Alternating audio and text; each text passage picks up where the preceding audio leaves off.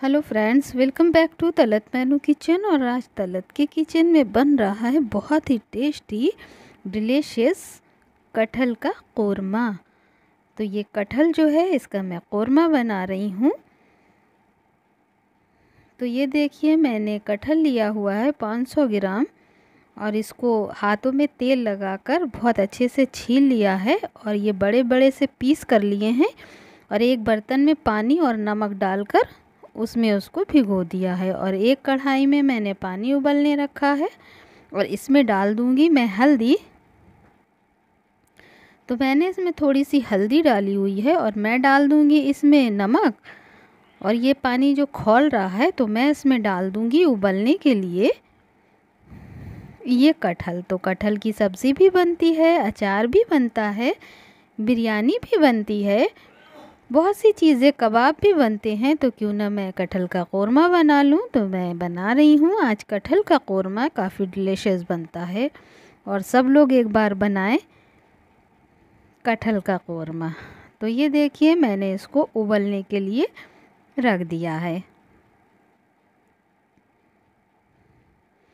और मुझे जो है इसको फिफ्टी परसेंट ही गलाना है, ज़्यादा नहीं गलाना है।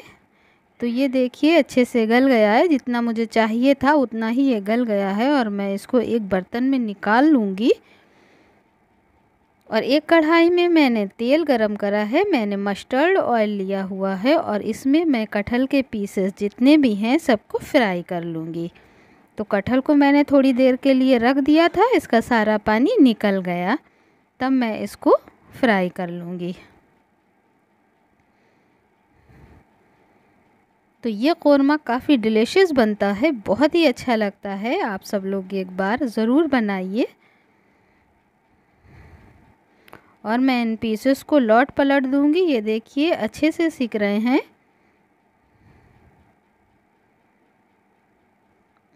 और ये बहुत अच्छे से फ्राई हो गए हैं और मैं इन सबको एक बर्तन में निकाल लूँगी।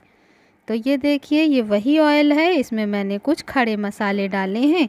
जो कौरमा बघारने के लिए डाले जाते हैं। सफ़ेद इलायची है, तेज़पत्ते हैं, ज़ीरा है, जावित्री है, दालचीनी है और मैं इसमें डाल दूँगी प्याज एक। मैंने बारीक काट लिया था तो ये प्याज मैंने इसमें डाल दिया है और मुझे उतना ही इसको फ्राई करना है, जितना कौरमे के लिए किया जाता है। तो ये देखिए, ये प्याज अच्छे से पक गया है, गुलाबी कलर का हो गया है, मुझे ज़्यादा फ्राई नहीं करना है। और मैंने अदरक, लहसुन और हरी मिर्च का पेस्ट बना लिया था। तो मैं वो इसमें डाल दूँगी और दो मिनट के लिए मैं इसको पका लूँगी ताकि इसका कच्चापन निकल जाए। और मैं डाल दूँगी इसमें एक बड़ा चम्मच दही। दही जो है वो ज़्यादा खट्टा ना हो। और दही जब डालें तो बराबर चलाते रहें। टेस्ट के अकॉर्डिंग मैंने इसमें नमक डाला हुआ है, मैंने पहले उबलने में भी इसमें डाला था तो अपने हिसाब से ही डालिए। और आधा चम्मच मैंने इसमें लाल मिर्च पाउडर डाला है। और मैं इसमें डाल रही हूँ कोरिएंडर पाउडर तो मैंने डेढ़ चम्मच इसमें धनिया पाउडर डाला है।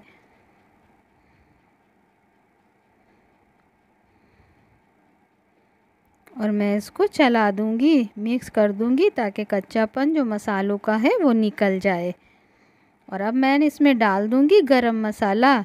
तो मुझे गरम मसाला ज़रा ज़्यादा ही डालना है। वैसे मैंने खड़े मसाले भी डाले हैं और एक छोटा चम्मच मैंने इसमें कश्मीरी लाल मिर्च पाउडर भी डाला है। इससे इसका कलर बहुत अच्छा हो जाता है। तो ये देखिए मसाला जो है वो अच्छे से भुन रहा है। और मैं डाल दूँगी इसमें ये अपना कटहल। ग्रेवी तो वही होगी जो कौरमे की होती है और कटहल जो है वो मटन की जगह होगा। खाने में उतना ही टेस्टी होगा ये। और डाल दूँगी मैं इसमें पानी। तो मैंने इसमें आधा गिलास पानी डाल दिया है ताकि जो मेरा फिफ्टी परसेंट कटहल था वो इस मसाले में, ग्रेवी में अच्छे से बन जाए। और गल जाए अच्छे से और मैंने लगा दी है लीड और मैं इसे हल्की आँच पर पका लूँगी। तो ये देखिए, कौरमा जो है वो बहुत अच्छे से बन रहा है।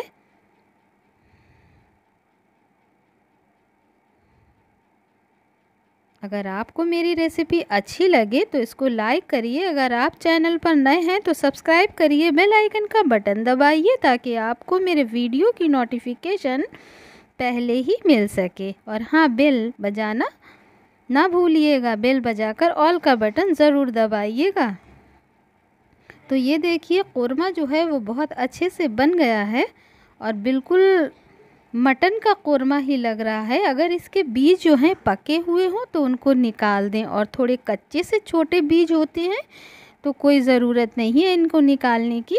साथ में ही बना लें और ऊपर से मैंने डाला है इसमें हरा धनिया। अगर आप चाहें तो थोड़ा सा लेमन जूस भी डाल सकते हैं। तो ये कौरमा जो है कटहल का बनकर तैयार हो गया है। काफ़ी डिलीशियस और यम्मी बनता है। एक बार इस कटहल के कौरमे को ज़रूर बनाइए। आपको काफ़ी पसंद आएगा। काफ़ी टेस्टी होता है। Thank you for watching.